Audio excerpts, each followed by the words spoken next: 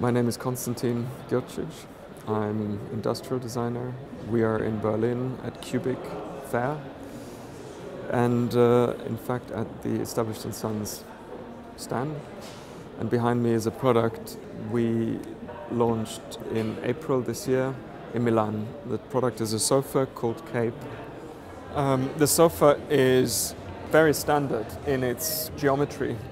We just made sure that um, proportions are right, that it feels comfortable to sit in, um, the, that the foam has the right density. Just, you know, going into actually the depth of, of um, these very simple issues that a sofa has. And uh, of course, the cover, which is um, what makes the sofa different to, um, um, to just the, all the other standard sofas, is, um, is loose and just thrown over the, the structure as you can see here. It's a, like a big blanket that you just tuck into, into the, uh, between cushion and, and, and back and it's hanging over it.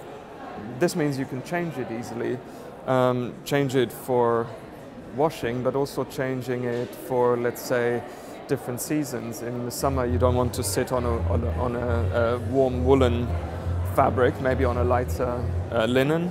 And in the winter, you could put the kind of winter winter blanket. Um, that's, that was the idea.